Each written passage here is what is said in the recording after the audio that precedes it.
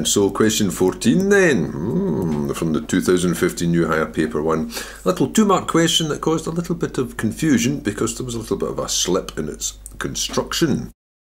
Here you have the equation of a circle, and it says it meets the coordinate axis at exactly three points. That was the business. What does this exactly three points mean?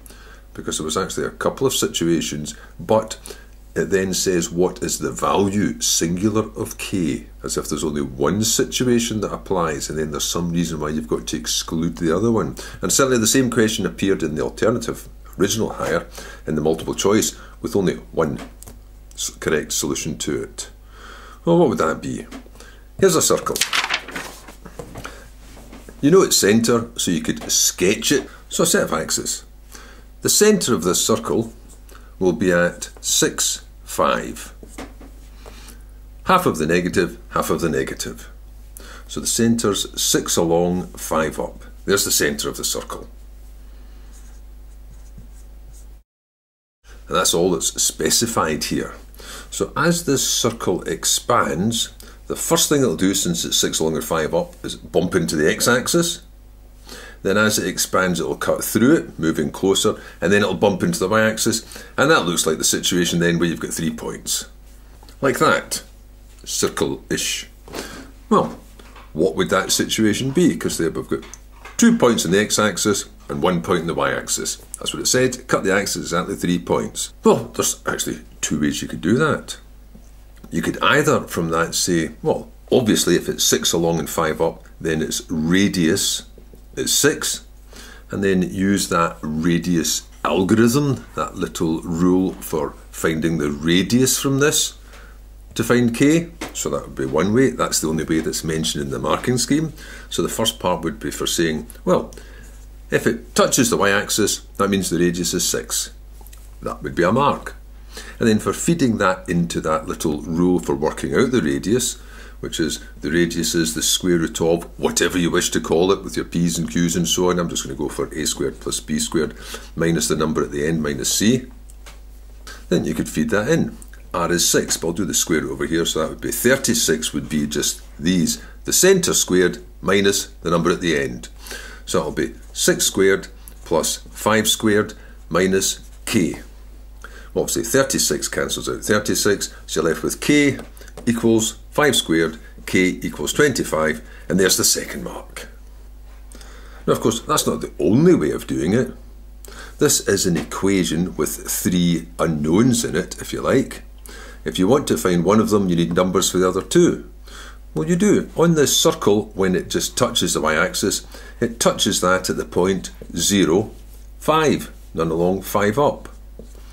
So an alternative way would be to substitute 0, 5 in this equation. We'll just give it a name for that purpose. Just substituting that into this should be the first mark by this other method. And then actually putting it in and working out, the answer would be the second mark. Well, if x is 0, then all the x terms will disappear and you'll just be left with the y's. So you'll have 5 squared minus 10 times 5 plus k should equal 0. So k is going to be, taking that across, 50 minus 25, k equals 25. Of course, the same answer.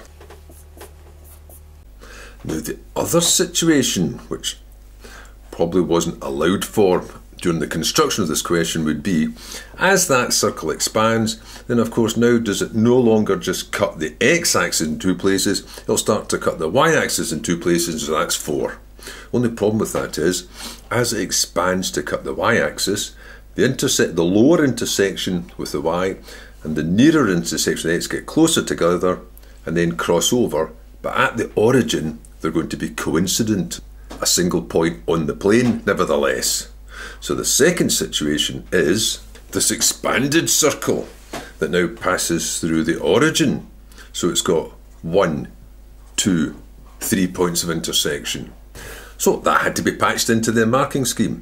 But of course, sticking to the same root of radius makes it a bit longer in this case, because the radius of that new circle, if you wanted to find the radius and then feed it into that little radius formula, would take a bit more, because the radius of that, or rather the radius squared, would come from Pythagoras. That's 6 along, 5 up.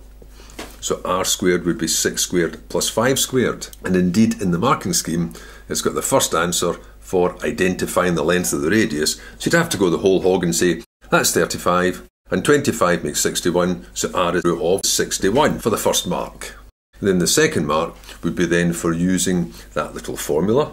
The radius is a square root of whatever you like. I'll put a squared plus b squared minus c. You may use your p's and q's. And then feeding that in, but putting the square root back over here again, or rather undoing it, that would be 61 equals, and that was 6 squared plus 5 squared, same things, minus k. And then obviously, since 6 squared plus 5 squared is 61, that means that k equals 0. And those were the way the two marks were allocated in the marking scheme for the quick patch up. But of course, there's an alternative way. This is an equation with, if you like, three unknowns. If you want one of them, you just need numbers for the other two. So if you know a point on this new circle, and you do, that's the origin, then it should be if you substitute that point into the equation. It will leave you just numbers apart from k, and then you can get k. So that should have been the first mark.